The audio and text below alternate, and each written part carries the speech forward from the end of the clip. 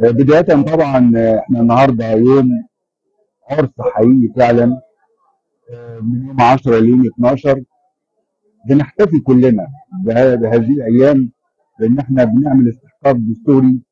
لازم يبقى نقول إن المواطن الأسواني عنده حجم من الوعي الكبير جدا اللي يخلينا بالشكل ده. إحنا عندنا لجنه مختلطه زي دي آه، في ناس موجودين هنا من قبل الساعة 9 يعني من 8 8 ونص وقبل ميعاد فتح اللجان. ده شيء يؤكد إن حجم الوعي كبير جدا في محافظة أسوان ويؤكد أكثر إن كلنا عندنا العلم والدراية والفهم لما يحدث حولنا طبعا. وبالتالي آه، إحنا طالبين استقرار طالبين حياة طالبين أمان طالبين مستقبل لأولادنا. فأعتقد إن حجم الوعي اللي موجود لدى المواطن الأسواني خلانا كلنا نتجمع دلوقتي بالشكل اللي إحنا شايفينه دلوقتي.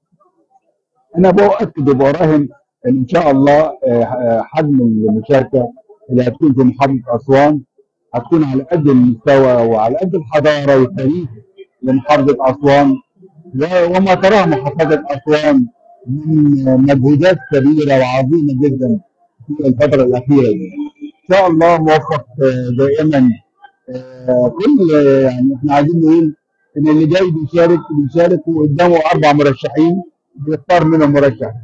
النهارده كل واحد عنده الحرية كلنا عندنا وعي وفي نفس الوقت مفيش توجه معين. ولكن بنقول للناس كلها بالكامل أنا عن نفسي أنا بشكر المواطنين كلهم بالكامل على اهتمامهم بينزلهم بالاشتراك في هذا العرس. وإن شاء الله دائما مصر في المقدمة إن شاء الله. في بداية تحديد توقيتات الانتخابات وتم تشكيل لجان من الوحدات المحلية وكافة القطاعات المشاركة في العملية الانتخابية سواء من الداخلية أو من التعليم والصحة والإسعاف والحمايه المدنيه كل شيء. عملنا أكثر من اجتماع. وأنا عملت عن نفسي أنا شخصيا عملت اجتماعين مهمين.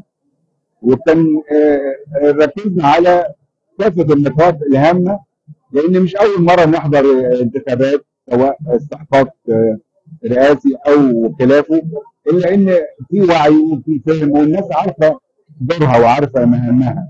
إلا إن محتاجين نفكر بعض ومحتاجين إن إحنا آه، نخلي المواطن على الأقل يجي وهو مطمئن تماما.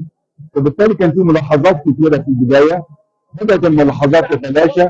لحد ما وصلنا الحمد لله دلوقتي إلى مستوى متميز. ويمكن من البدايه خالص حتى الكراسي المتحركة موجودة لأصحاب الهمم.